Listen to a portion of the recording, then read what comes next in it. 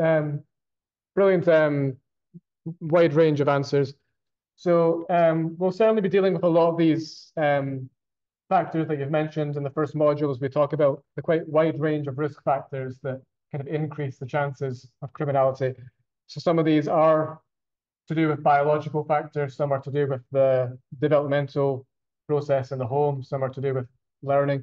Um, and the first one we'll talk about in the first lecture next week um, will be the kind of more situational um, factors. So, you know, there's a number of debates relevant to this, one of which is the nature-nurture debate, whether, you know, human behavior, differences in human behavior, including criminal behavior, are more to do with nature, so um, biological influences, or more to do with nurture, environmental influences, um, which is a debate that we'll come to probably next week.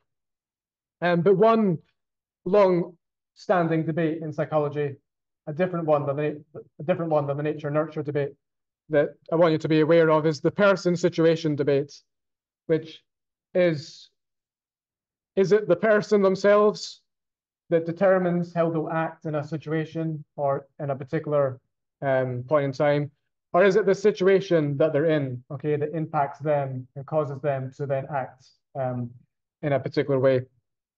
So, you know, this is relevant throughout psychology, but in terms of criminal behavior, the person side of the debate would be more about arguing its personality traits that are maybe inherited or maybe are innate or, you know, are a crucial component of who that person is. And it's those factors that are causing cr criminal behavior, okay? That some are more quick to anger, some um, are more patient, some are more likely to think about the consequences of their actions. Whereas the situation argument would be that some people commit crime, like you said, maybe because a opportunity presents itself and that's what influences them, or maybe because they're born in poverty and they don't see any other way out and they don't see any other opportunity. And so it's the situation that they're in that causes them to act in a way that's criminal. Now, I'll go into more detail on this in the next lecture. But what we'll talk about is that really for a long time, the person side of the debate was more popular in psychology, really up until about the 1960s which is really when social psychology began to massively emerge. Um, but in the 1960s, there was a real kind of um, counter argument that was um, growing and growing in popularity to this, really led by Mischel, um, a social learning theorist. Um, he really argued that it's the situation that determines um, people's behavior. And you know, this was largely coming through social psychology experiments, some of which you might know, like um, the Stanley Milgram studies, which showed that, you know, people were quite likely to obey authority in particular situations, okay? There isn't a whole amount of individual differences. In certain scenarios, when one feels peer pressured, like in the Solomon Asch studies, we'll talk more about this next week, but in particular scenarios when one feels peer pressure, they give in and they conform to the group. Okay, again, there isn't a whole lot of individual differences.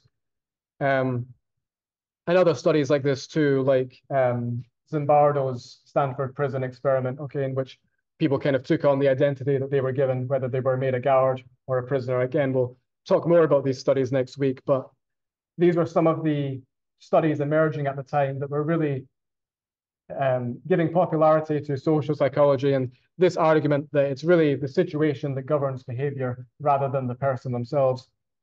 Um, and Mischel was really at the forefront of this, really leading this argument.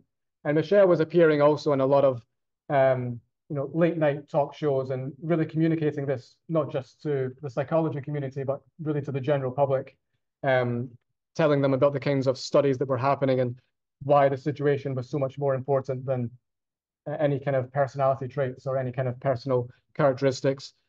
Um, he kind of mainly argued the situation is more important. Personality traits are not useful predictors for future behavior.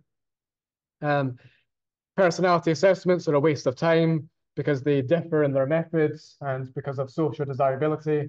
So they're not really accurately measuring people's actual personality, but only how they want to be perceived in terms of their personality. And his review of the literature told us that correlations between personality and behavior very rarely exceeded 0.4. Okay, so this is a small to moderate correlation, right? Um, a correlation is a number between zero and and one or zero and negative one, right? If it's a positive correlation, it's between zero and one.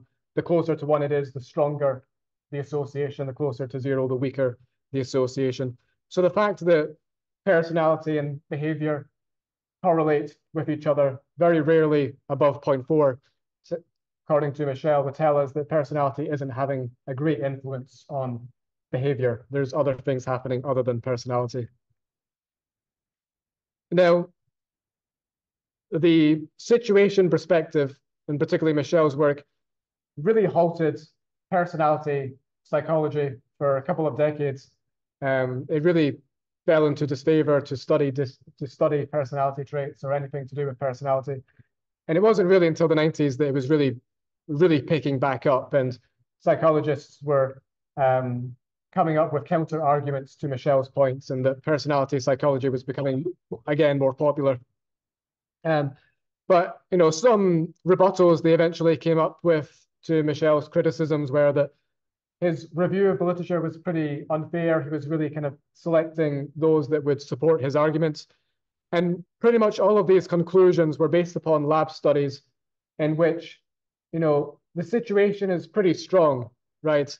Um, so, you know, for example, um, the Stanley Milgram study, it's, you know, an unusual situation to be in, right? When you're put in this sort of lab and there's a researcher telling you how to act, okay? this isn't really giving us a whole lot of insight into real life. Okay, the personality psychologists were arguing that in real life, personality traits are having more of an influence. Okay, because when the situation is more ambiguous, okay, this is when individual differences have an impact. Okay, and we all choose to act differently.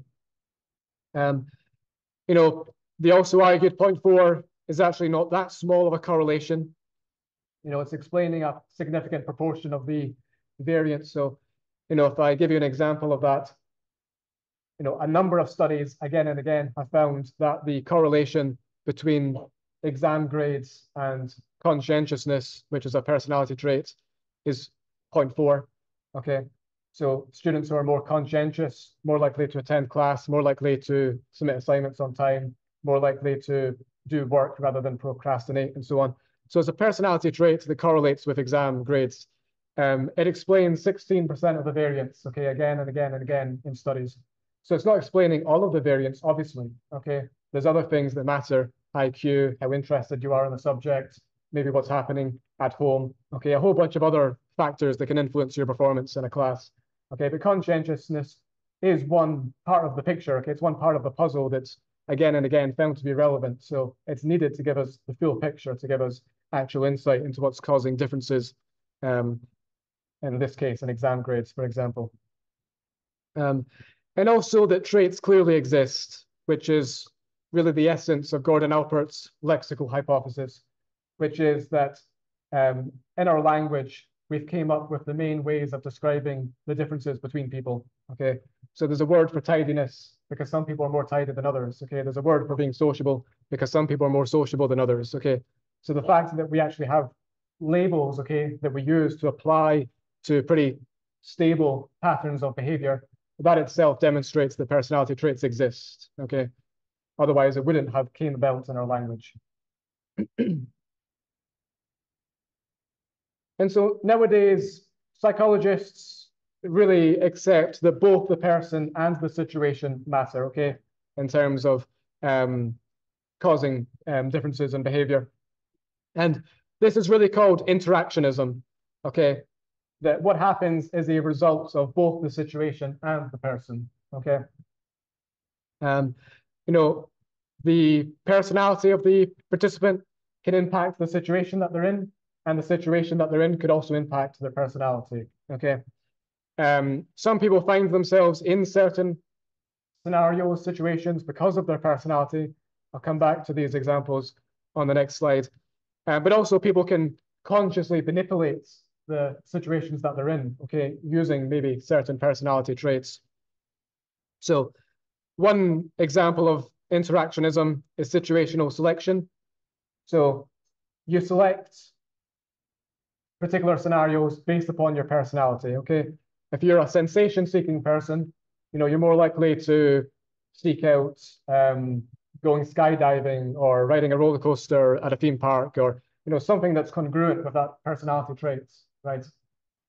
If you're extroverted and sociable, you're more likely to seek out social situations, go to parties and so on. You're more likely to um, engage in these sorts of situations.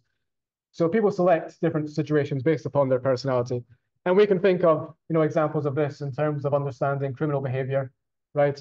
If one is maybe sadistic, for example, they're more likely to seek out a situation in which, you know, they can feed that sadistic pleasure, or if they're sensation seeking and thrill seeking, they're more likely to seek out something that will get them excited and something that will um, get them, you know, physiologically aroused. Um, second of all, people can evoke differences in the situation based upon their personality, not even deliberately or consciously, right? If you're a very disagreeable, argumentative person, you might find yourself in a lot of arguments in comparison to someone who's more easygoing and not very disagreeable, okay? And, you know, it's maybe not deliberate, okay, but it's just the way in which you act with people, the way in which you behave in social situations is having a particular impact, okay, and how the situation responds to you, okay? And then the other example of interactionism is more deliberate, more conscious, okay, which is manipulation, okay? People can, you know, manipulate the situation that they're in, okay, based upon maybe what they want out of it, right? Maybe you want to be particularly charming to someone because you want to get on their good side, okay? Um, or something such as that.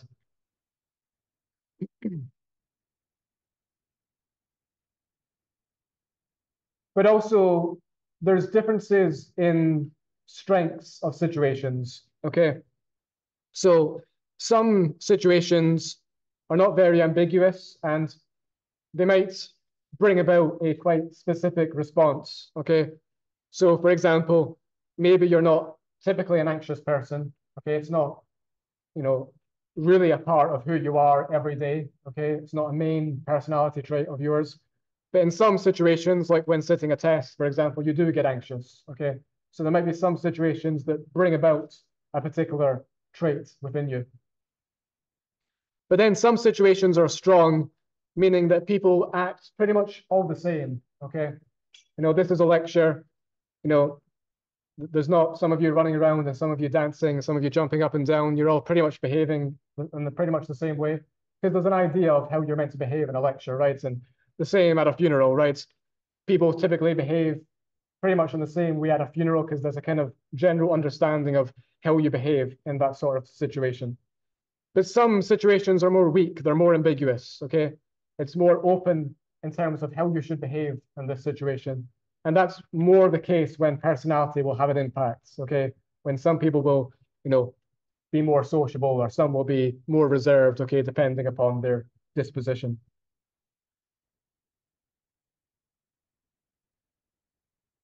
Okay, so really all I want you to really take away from what I've said today, um, other than the kind of broad overview of forensic psychology, is understanding what the situation person debate is, what interactionism is, and some of the examples I've covered there of interactionism, situational selection, manipulation. Um, and then in the next lecture, um, I'm going to go more fully into the situational risk factors um, for violence.